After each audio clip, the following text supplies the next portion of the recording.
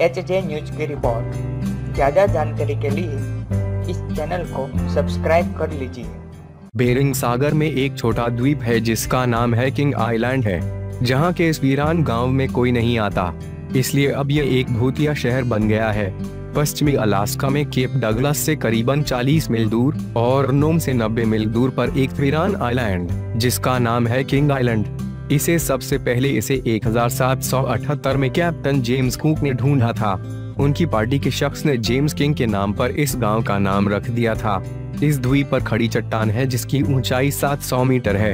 इस गाँव में बहुत ही नाजुक घर बनाए गए हैं, जिन्हें उकावे के नाम से जाना जाता है। इन खड़ी चट्टानों के किनारे पर लकड़ी की मदद से बनाए गए ये कच्चे घर जो कि कपड़े से ढके हुए हैं, जिनसे पता लगता है कि यहाँ लोग रहते होंगे।